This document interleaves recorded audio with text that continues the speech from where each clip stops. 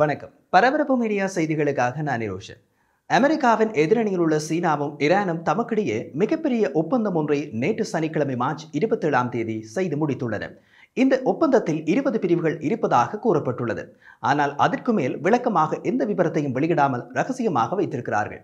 தெரிய வந்துள்ள விவரங்களின்படி விரைவில் சீன கடற்படையை வளைகுடா பகுதியிலும் ஈரானிய கடற்படையை தென்சீன கடலிலும் காணக்கூடியதாக இருக்கும்.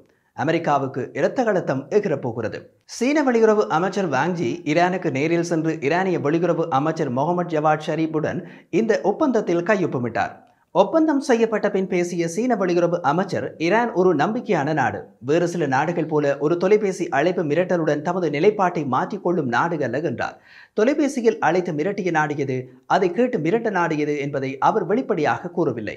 இந்த ஒப்பந்தத்தின்படி சீனாவுக்கும் ஈரானுக்கும் இடையிலான வர்த்தகம் ஆண்டு ஒன்றுக்கு அறுநூறு பில்லியன் டாலர் என்ற அளவில் அதிகரிக்கும். அது தற்போது அந்த இரு நாடுகளுக்கும் இடையே உள்ள வர்த்தகத்தை விட பத்து மடங்கு அதிகமானது. அத்துடன் மேலதிகமாக ஈரானில் சீனா நானூறு பில்லியன் டாலர் பணத்தை முதலீடு செய்கிறது. இந்த ஒப்பந்தத்தின் மூலம் சீனாவின் பெல்ட் அண்ட் ரோட் பொருளாதார திட்டத்தில் ஈரானும் இணைந்து கொள்கிறது. அமெரிக்காவின் பொருளாதார ஊடகங்கள் கூட இந்த ஒப்பந்தம் பற்றி கருத்து தெரிவிக்கும் போது இது ஒரு மிகப்பெரிய ஒப்பந்தம் என்பதை ஒப்புக்கொள்கின்றன. அமெரிக்க அரசின் சீன எதிர்ப்பு மற்றும் மத்திய கிழக்கு வெளியுறவு கொள்கை ஆகியவற்றுக்கு இந்த ஒப்பந்தம் மிகப்பெரிய இடையூறாக இருக்கும் என வர்ணிக்கின்றனர். சீனாவுக்கு எதிரணியில் தமது நட்பு நாடுகள் ஒன்றாக இணைய வேண்டும் என அமெரிக்க ஜனாதிபதி ஜோ பைடன் ஒரு பக்கமாக அழைப்பு விடுத்துள்ளார். மறுபக்கமாக இரு வெவ்வேறு பிராந்தியங்களில் அமெரிக்காவுக்கு எதிராக உள்ள இரு நாடுகள் இந்த ஒப்பந்தத்தின் மூலம் இணைந்து கொள்கின்றன. சுமார் ஐந்து ஆண்டுகளாக சீனாவும் ஈரானும் திரைமறைவில் நடத்திய பேச்சுவார்த்தை இந்த ஒப்பந்தமாக மாறியுள்ளது. சீன ஜனாதிபதி ஜி ஜின்பிங் இரண்டாயிரத்தி பதினாறாம் ஆண்டு ஈரானுக்கு சென்றபோது இந்த ஒப்பந்தம் பற்றிய ஆரம்ப பேச்சுவார்த்தைகள் தொடங்கியதாக குறிப்பிடப்பட்டது. அதன்பின் அனைத்தும் ரகசியமாக வைக்கப்பட்டிருந்தன. ஈரானிய நாடாளுமன்றத்துக்கு கூட இந்த பேச்சுவார்த்தைகள் பற்றி தெரிவிக்கப்படவில்லை. இந்த ஒப்பந்தம் பற்றிய சில ஆவணங்களை கடந்த ஆண்டு நியூயார்க் டைம்ஸ் பத்திரிகை எப்படியோ பெற்று வெளியிட்டது. அப்போதுதான் இப்படியான ஒரு பேச்சுவார்த்தை சீனாவுக்கும் ஈரானுக்கும் இடையே நடந்து இறுதிக்கட்டத்தை அடைந்துள்ளது என்ற விவரம் வெளியுலகுக்கு தெரிய வந்தது. நியூயார்க் டைம்ஸ் பத்திரிகை வெளியிட்ட ஆவணம் நிஜமானதா இல்லையா என்ற விவரத்தை இன்று வரை ஈரானிய அரசு தெரிவிக்கவில்லை.